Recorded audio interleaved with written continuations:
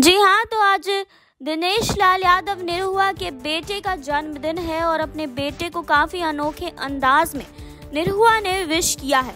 अपने बेटे को ये प्यारा सा तोहफा निरहुआ ने दिया है।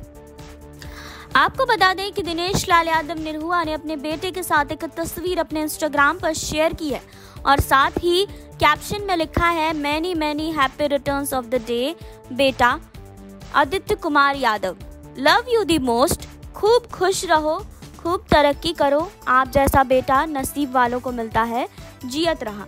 जी हाँ आपको बता दें कि निरहुआ के इस पोस्ट पर अक्षरा सिंह ने भी निरहुआ के बेटे को विश किया है। जी हाँ अक्षरा सिंह ने लिखा है happy birthday to you Aditya Kumar Yadav.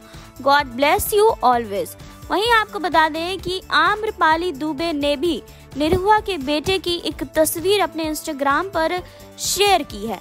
जी हाँ और साथ ही उन्होंने कैप्शन में लिखा है birthday wishes to the cutest boy I have ever come across may you always keep shining and winning more and more medals जी हाँ आपको बता दें कि आम्रपाली दुबे ने भी निरहुआ के बेटे को खास अंदाज में विश किया है।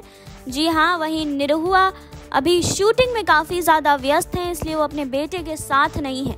लेकिन बेटे के साथ ना होने के बावजूद भी वो अपने बेटे से बहुत प्यार करते हैं और उन्होंने इंस्टाग्राम पर अपने बेटे के लिए ये तस्वीर शेयर की है और इतनी प्यारी प्यारी लाइनें लिखी हैं।